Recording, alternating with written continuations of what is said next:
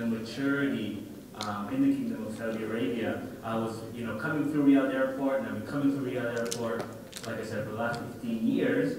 And I hadn't come in about a year. You know, other priorities took me elsewhere. But just coming through the airport was such a great, great experience. I was, you know, um, from the plane out of immigration in like 15 minutes into my hotel within 30 minutes after that. And you know, I had done my visa in Dubai where I'm based.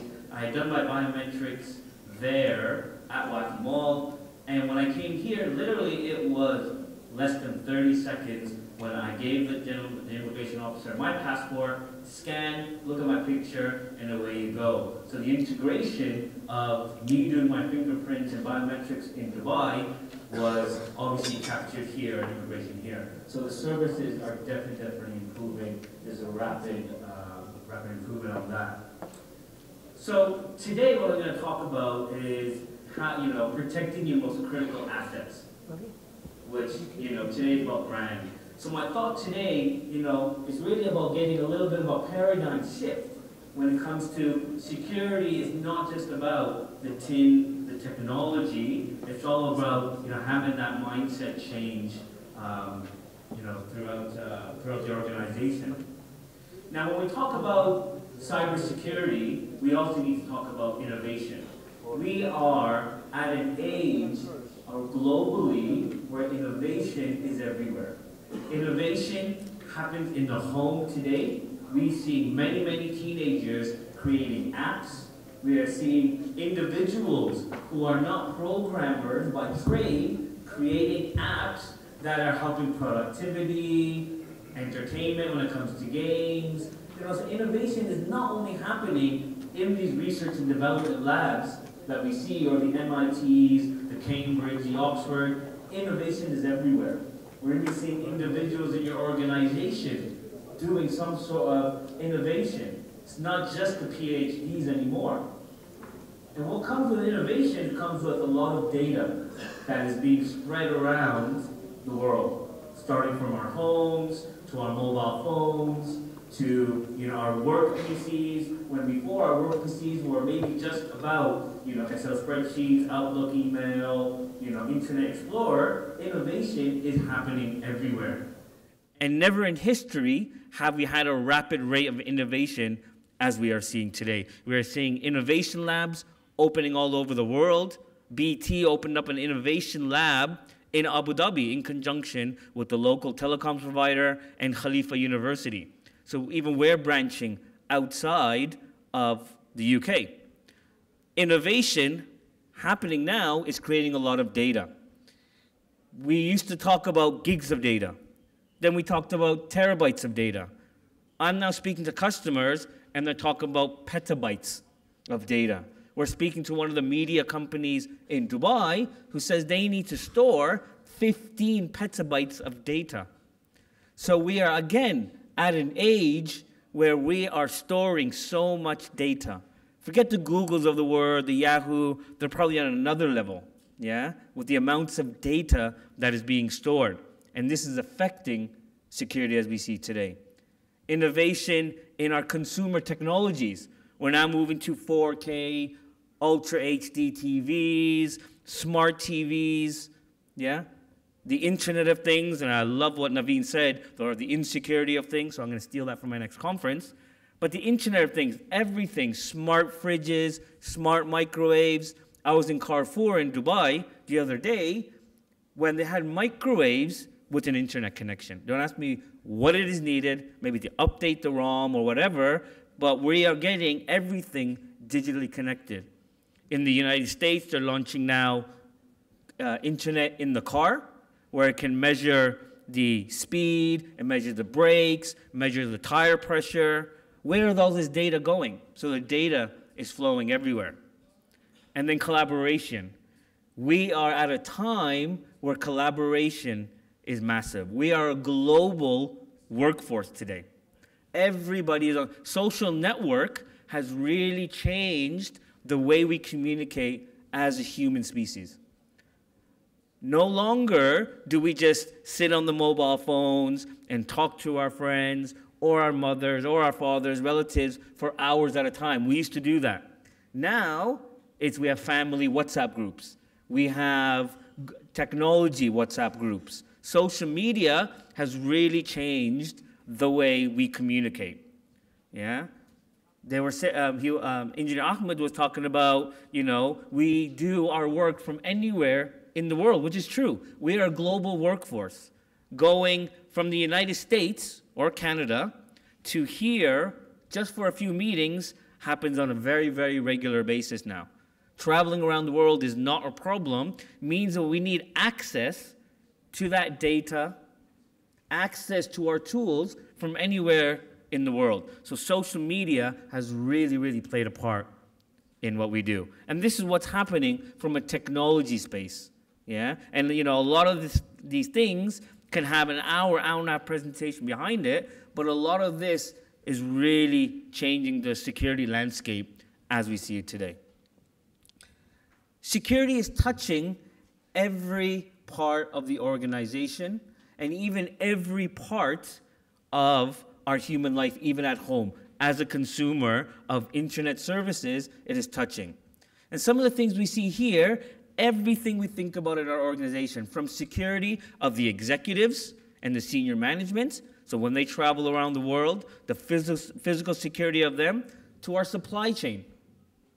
Okay? It's not just about, you know, securing against viruses. These are now, you know, fundamental things that we do, or the, you know, securing the internet connection that we have, but the supply chain, the development life cycle, the branch offices that are growing around the world. It touches everything, even when we're at home. We're now buying routers to connect to the internet with either VPNs built into it, yeah? So the common person at home is now talking the language of, oh, I need a VPN.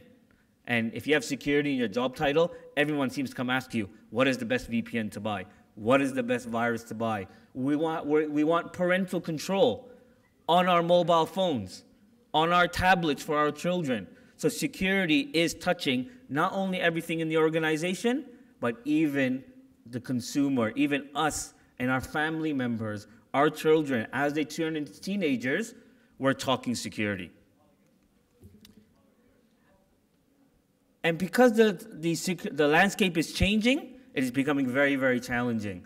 We have high profile loss. You cannot pick up a newspaper today and not see some sort of security incident. So the industry, the media is talking security, security, security. Look how many conferences there are now. This room is full because security, everyone is talking about it. And I'll give some examples a little later cloud, and the convergence of the network, the consolidation and the convergence of 3G networks, 4G networks, MPLS, regular IP Connect, our SCADA networks. Yeah, there are now a whole branch of SCADA security experts and the convergence of coming onto IP. The cloud. Everyone is pushing cloud, cloud, cloud. We use cloud services as consumers I can be sure that every single person in this audience is using some sort of cloud services, be it Gmail, Yahoo, Hotmail, iCloud, whatever social media we use, we're using cloud services. And now, enterprises, corporate, with all the IT budget cuts, yet the improvement and innovation of IT, everything is moving to the cloud. The vendors, the Microsofts of this world, the Oracles, the SAPs are starting to push their services or their service offerings into the cloud.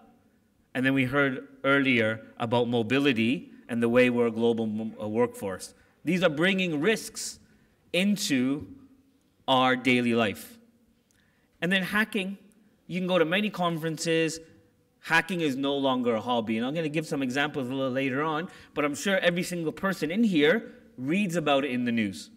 Even the common person who's not in security or not in IT will know about all the hacking that is going around, around in the world. We're talking about the $100 million plus. They still don't know the value bank heist that happened two weeks ago. I'll mention that a little later on.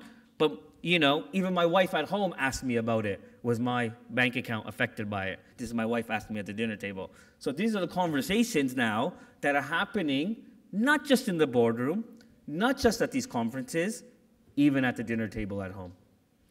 And then the rise of the collective. So I like using this phrase because I'm such a big Star Trek fan, next generation only, not the older series.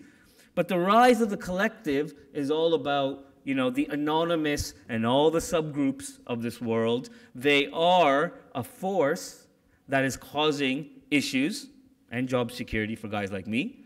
But anonymous is a force that is out there and causing a lot of havoc, causing a lot of people to change their strategy, adopt their strategy, spend money on security. Yeah? Anonymous is a group that is global.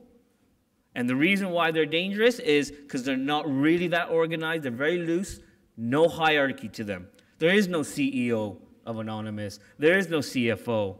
They are very, very collaborative in what they do, and they're very, very effective in what they do. You know, and everyone's talking about them. You know, my uh, I was speaking at a conference a couple of months ago, and my 16, well now 17 year old son, he was 16 at the time, was asking me, "Oh, what are you talking about?" And I was giving a whole hour presentation about Anonymous, where they came from, and what they're doing, and going into a lot more, a lot of detail about their structure. And I said, "I'm talking about Anonymous," and he goes, "Oh." they do so and so, and they do this, and they broke into this. And I was like, wow. So even teenagers are even talking about what Anonymous does. So, you know, like I said, everyone is talking about the security world at the moment. So we talked about, you know, some things that are happening in the media, and I'm sure every single person here today has heard about this. But the US just announced a large amount of money as a bounty to try and track down the person who was responsible for the botnet that did the largest cyber bank heist in history. Whenever we heard the term bounty, typically only saw it on TV in the United States, to, you know, bounty hunter, go and find the person that murdered someone, so on and so forth. Now we're hearing it in the digital world. So the United States government put a bounty on that. We heard a couple of weeks ago, less than two weeks ago, about SIM cards being broken into now. And just yesterday, Gemalto was saying, well, no, actually, it's not true. Our private keys, our encryption wasn't actually broken into, and everyone's SIM card is okay. But this, again, they are the biggest SIM provider in the world, and again, we think, okay, there may be some insecurity in our, in our SIM cards. And then we have a researcher out of the US who just put millions and millions of username and passwords out there on the internet to say, look, this is what's happening. This is how easy it is. Typically, when researchers used to post things out, they would only post passwords. So there was, you know, a couple of months ago, there was an article that came out with the top 25 most used passwords out there. But the usernames and associated them were never ever released he just released large amounts of data that he was able to capture for username and passwords. And on the 25 most used passwords, one of them was Mustang, and then the American car manufacturer actually used that as a PR initiative, uh, saying that, look, Mustang is in one of the top 25 most used passwords. So I don't know how that worked out for them.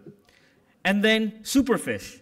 Again, right after the Gemalto incidents, we had Lenovo in the industry putting in some sort of malware or adware or spyware, whichever the way you want to look at it, that created man-in-the-middle attack, was able to see or take your HTTPS, what we know, what we inherently think is secure.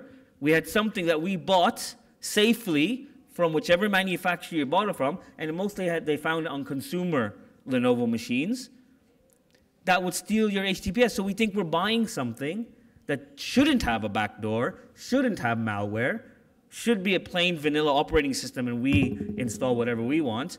Lenovo came out and said, yes, sorry, here's some software to uninstall it, and we have a strategy in place going forward not to put spyware, malware, adware onto those PCs. So, why am I here to talk to you about brand? We're not at a marketing conference. We're not at a you know, social media conference. But I'm here to talk to you about brand to change that paradigm shift. We are all security professionals in this room. We're all buying firewalls, next generation firewalls, IPSs, APT viruses. That we need to do that. But our strategy is to protect what? Our organizations, their brand is the most important thing. So if we take here, and I just looked last night before I came up this morning from my hotel room, and these are still valid, is these are the top brands that us as a consumer utilize in our daily life. Everyone in this room, I can be sure of it, has some of this brand either in our pocket, in our laptop bag, in our hotel room. We might even be consuming it right now at the moment. We all know that Apple has the largest cash storage in the world at the moment, largest brand. So these are brands that we consume. The way we go about our lives somewhat are affected. Microsoft, IBM, Google, I'm sure we're all, some people are probably checking their Gmail at the moment. So we're consuming these brands today. So they really drive our land. So what that means is that your brand, and I'm going to talk about what your brand is, is an asset that needs protecting. Okay? And, you know, what we use to protect that, well, I'm sure we're going to hear about it over the next two days. We're going to hear a lot of a lot of technology, a lot of processes. We heard about great training that is needed. Training not only in the enterprise, but even training for consumers at home. Okay? But my favorite, my favorite quote is there. And this is from the chairman of Quaker. So I grew up, born and raised as a Canadian, and I grew up on Quaker. They were, you know, one of the first uh, uh, consumer packaged goods companies, cereal, snack bars, drinks. And, you know, he states that if this business were split up, I would give you the mortar and the brick, so I would give you the physical assets, and I would keep the IP of the brand, and I would fare better than you. This just showed in the early 1900s that the brand was more important to that chairman than the actual physical assets. Because you can buy physical assets very, very quickly, but to rebuild your brand, A, takes a long time, and sometimes it can never recover. And then us as individuals, people, because we are such in a digital age, we also have brands. Everyone who is on social media, especially if you're very, very active and use social media effectively, you start to build your brand. Saudi Arabia has one of the highest concentration of Twitter users in the world. What this slide here is just showing, these are the top 10 most followed Twitter users. So you can see most of them are entertainers, that's fine. But you have YouTube, you know, you have, uh, you know, uh, Ellen DeGeneres. So you have a lot of people who build brand. But even in this part of the world, people will have Instagram pages, Facebook pages, you know, even if you're a small business, you have promotions on Facebook. But then again, that brand of our, ourselves as an individual, me standing up here, speaking to you guys, is also about my brand as a person, my brand as an organization that I'm representing. But we all heard about the iCloud breach and how celebrities' photos were leaked. This was damaging to their brand. So even us as individuals have a brand, especially if you're on social media, and that needs to be protected. Remember, we, we put so much onto the cloud, we need to start thinking about is my data that's going into the cloud secure? My Instagram, the things I put on Gmail. Gmail, yeah, we put all that data and we allow Gmail or Google and Facebook to advertise for us. So we, we inherently trust that those cloud providers are securing my data. Yeah, we, we, we, yes, we allow them to advertise, advertise or put the right things in front of us, but then what's happening with the pictures, with the attachments, with everything I'm sending through the cloud? Yeah, again, this affects us as individuals and our brand.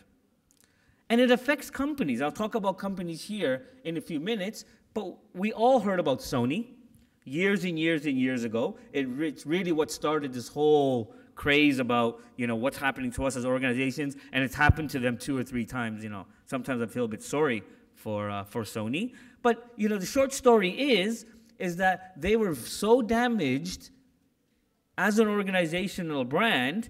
That picture there is the executive committee in Japan, very honorable society, bowing on national TV, apologizing for the PlayStation hack, for it being down at weeks at a time. You can see they were, they were fined by the European Union for hundreds of millions of dollars, affected their share price negatively. So a cybersecurity incident affecting the organization's not only brand, but also their value in the market, their market value eBay, one year ago today, eBay had very, very large breach, affected their quarterly profits. Because people, for a short period, we're humans, we forget, we're not as short memory as goldfish, but we do forget, we forgive, and we move on. eBay had a massive incident. It dipped for a while their sales, but one year later, again, record profits for eBay. And then Target. Target, one of the largest retailers in the United States had one of the largest breaches. About 70 million records were stolen. There was so much pressure because they're a public company by the SEC, the, the um, Security Exchange Co Commission, that the CEO ended up resigning because of a cybersecurity breach. So first the CFO left, and then the CEO, fell due to pressure. So it does affect even executive committee level. And in the Middle East, we are not immune. We are at a time of the world where Middle Eastern brands are, are growing globally. I'm sure many, many people in here are Premier League, British Premier League football fans. So I'm a big Manchester United fan. We won 2 0 last night, so if anybody else is a Man United fan, you know, scrappy win. However, we watch these games. We watch Arsenal, we watch Man City, Manchester United, who have global viewership. And what do we see? Global brand, uh, Middle Eastern brands. We watch the World Cup. If it's rugby or if it's football, we see Middle Eastern brands. The Olympics, a lot of Middle Eastern brands. So we're getting global exposure of those brands. We're seeing these organizations now. How do I protect myself from a cyber perspective? Because everything is connected there. I'm getting the one minute message. Two slides left. One slide, really. So security is not just an IT discussion anymore. It is security has gone from the geeky, nerdy data center discussion to the boardroom. More and more times where I'm going to organizations or to going to governments to speak about cybersecurity initiatives, we're getting the CFO involved, the COO. The COO is telling their CISOs, what, what are we doing about cybersecurity? So it's no longer just about, you know, technology. It is a business level issue today. And I leave you with this last slide. It's very simplistic. It is not rocket science when we talk about cybersecurity. It's all about risk management. And when we understand what our risks are, and one of those risks should be about our brand.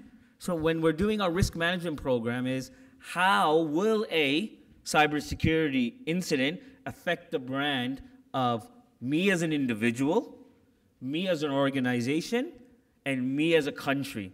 Even on a country level now, we have certain brands.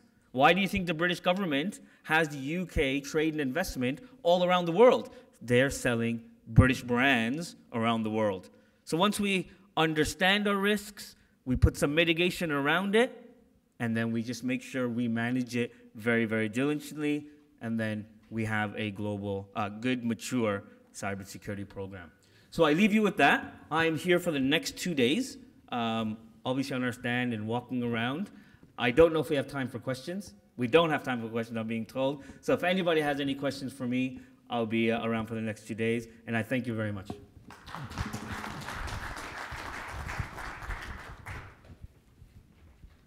Thank you very much, Tareque.